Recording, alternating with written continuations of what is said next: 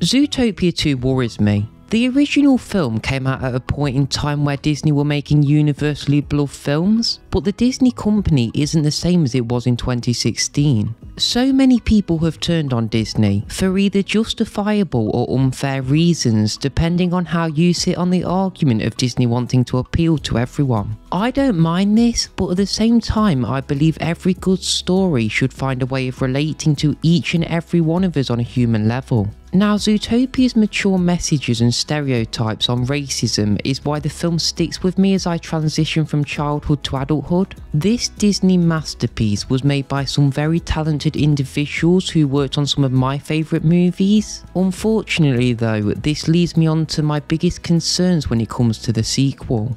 I am slightly worried about the angle Disney will take on the story. They've already done a great mystery story, so I feel that they might want to change up the formula with a sequel, kinda like what happened in Cars 2.